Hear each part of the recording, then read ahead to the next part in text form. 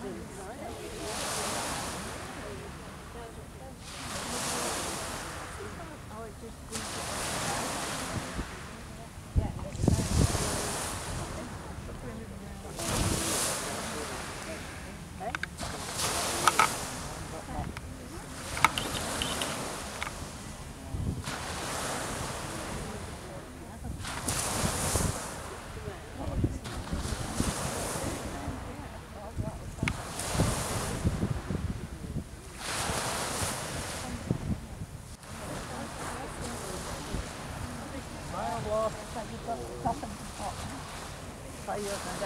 ちの時ってやったよね。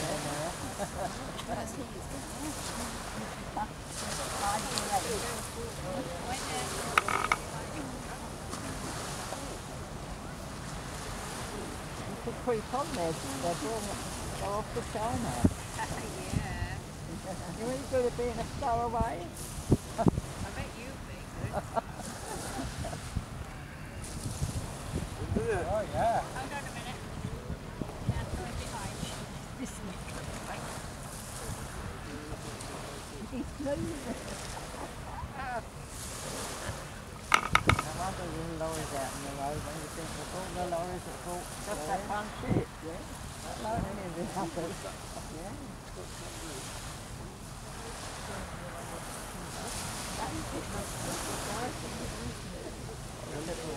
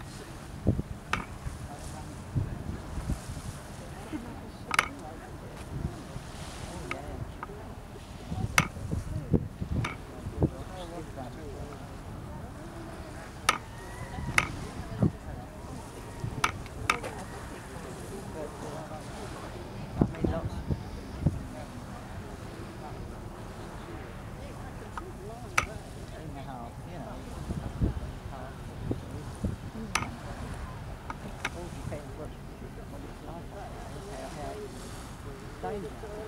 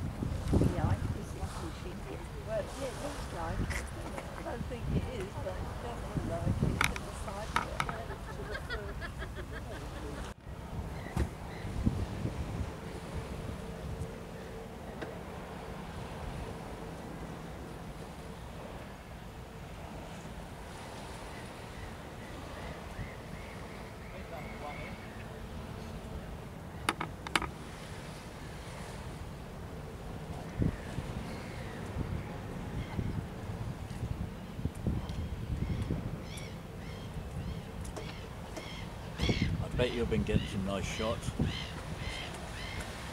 Oh, I've got video on at the moment. Have you? Oh, sorry. No, it's all right. I, I, take it all out because of the the wind gets in the microphone. Oh, and I've got music to it afterwards. So. Yeah. Ah, there's been quite a bit of activity going on. Absolutely, it's marvellous here. And I'm waiting for that one to go over there at five. What, that big one? The Brilliance of the Seas, yeah. That's a big one, isn't it? That's um, about 12 decker, 11 or 12 decker. That one. Yeah, And that's way down the river, isn't it? that's down at Parkston Quay. Yeah. yeah. To stick up like that, that must be big. Yeah. There's been several in just lately. There's been Oh, lovely. um, middle of the Pacific. sorry. I couldn't moor in the middle of the Pacific. I tried it in the Norfolk Broads. I was hopeless. Uh, But it's practice. I only done it once. See, he's taking up the slack there now. The one at the back there on the stern has, has got a slack as well. So he's holding it back, and this one has just got it enough so that if he wants to pull it forward a bit, he can do so. Oh, that's brilliant. I'd like to take a photo of that.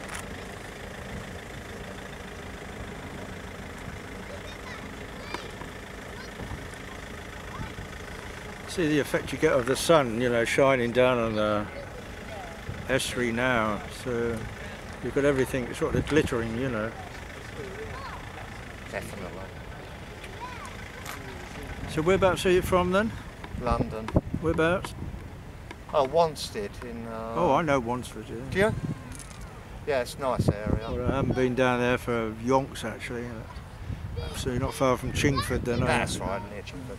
And I've seen Harwich on uh, A12 road signs. It was only last year I visited here and Harwich, and what lovely views of the big ships. I can't believe I didn't come here years ago. I could watch them all day. Well, you can see that there's uh, quite a few on board there because the red line right running down the bottom. Sometimes when they're coming in, like you look at that Medici one, the second one from the end, Yes. that's well out of the water because there's not many containers on board. But uh, this one here has uh, got quite a few on because she's sitting well in the water and there's obviously some weight in those containers as well. Yeah. Obviously, yeah. Sometimes they come in and just pick up empty boxes and move them on to another port somewhere there. Yeah, yeah. There's a, there's a shortage of steel at the moment, would you believe?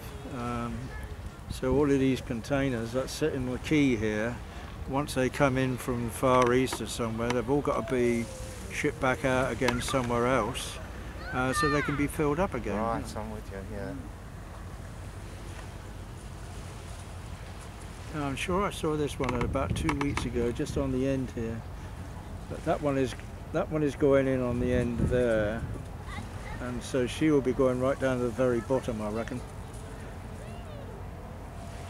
All I come here for was to get her a timetable for the Oh, for the ferry. boat to Harwich. Yeah. They've run out in the, the lady said it is running, so I'll come Yeah, I saw it. Uh, I saw You seen it the. What time was that? Uh, half past two, was it? I think we got down there about that time, and it was coming in then. I was going to ask you actually, but I thought well, I'm not the bike and going there. Haven't they got any on the end here? They used to. They did have a sign of times and that last year. There's Yeah. no sign this year. Uh, I can wait watch this. so when you go over the other side, what do you do when you go over there? Well, I've only been to Harwich once last year. I'll, I'll have a, I'll take my bike. I'll have a little look around Harwich, little historic bits and pieces. Yeah. Then I'll go up to Dover Court and Yeah. I'll sit there and watch some of these ships Yeah. because it's quite high up there, isn't it? Yeah, well, if you go over there where the green sward is, that's a good viewpoint from I there see. Yeah. because you can see them coming down the channel, you know, Oh yeah. that would be a from down one. the uh, shipping lane. Well, I'll go there then. And uh, where the tug is now, right behind there, if you go along from Harwich to Dovercourt, Yes. you've got all the old uh, fort things, you know, the fortifications. Right. Um, quite interesting, actually, if you're interested in that sort of thing. yeah, I know. love seeing them. Yeah. And then you've got the high and the li- low lighthouse there. Um, you can see those from here. Well, they're behind the vessel at the moment. Um, and uh, the Mayflower set safe sail from there when she went to America. Did she? And if you have a look on some of the buildings, you'll see Christopher Jones, uh, ship's captain of the Mayflower, that um, resided in one of those uh, houses. There's these blue plaques In Harwich. in Harwich. Yeah, Samuel Pepys lived there. He? Yeah, and there's just to, uh, to the stern, to the left of the stern Yes. now. There's a tower there That's to the right of the cruise ship. Yep. That's the High Lighthouse. That's a, a radio museum now. Is it? Mm. Yeah, and directly behind the tug's funnel, that is the Low Lighthouse. It's a white painted circular thing. And then if you go all the way down, I can just see it. Yeah, if you go all the way down past the breakwater, going down towards the end of Dover Court itself, Yes. there's uh, a couple of old lighthouses in actually in the water. Well, one is right on the shore, Mm. and the other one is just in the water. But um,